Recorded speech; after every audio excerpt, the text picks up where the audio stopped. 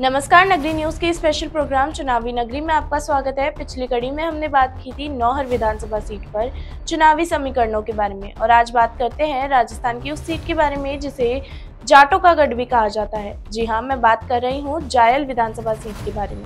जायल विधानसभा क्षेत्र से कांग्रेस पार्टी ने एक बार फिर विधायक मंजू देवी को मौका दिया है। तो वहीं बीजेपी ने डॉक्टर मंजू बागमार को अपना उम्मीदवार घोषित किया है।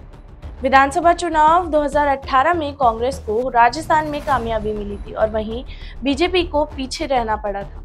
कांग्रेस के वरिष्ठतम नेताओं में शुमार होने वाले अशोक गहलोत को एक बार फिर मुख्यमंत्री पद की शपथ दिलाई गई थी और इस समय वह एंटी इनकम्बेंसी की लहर के बावजूद अपनी सरकार की कल्याणकारी योजनाओं के बूते लगातार दूसरा कार्यकाल हासिल होने की उम्मीद कर रहे हैं। वहीं दूसरी ओर बीजेपी भी अशोक गहलोत की सरकार के भ्रष्टाचार और लगातार बढ़ते आरोपों के मुद्दों को लेकर ज़ोर शोर से प्रचार अभियान में जुटी है। और उसे भी पूरी उम्मीद है कि राजस्थान की जनता द्वारा हर पाँच साल में सत्ता बदलने की परिपाटी जारी रहेगी। और इस बार उन्हें कामयाबी ज़रूर हासिल होगी।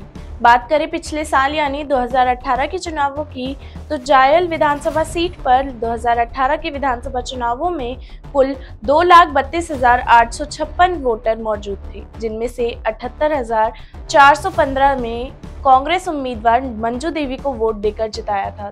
तो वहीं बीजेपी उम्मीदवार डॉक्टर मंजू बागमार बत्तीस हज़ार दो सौ वोटों के साथ तीसरे स्थान पर रही थी। जायल में कांग्रेस को इकहत्तर प्रतिशत और बीजेपी को 29 प्रतिशत जनता का समर्थन प्राप्त है। इस सीट पर कुल दो लाख पैंतालीस हज़ार वोटर्स हैं।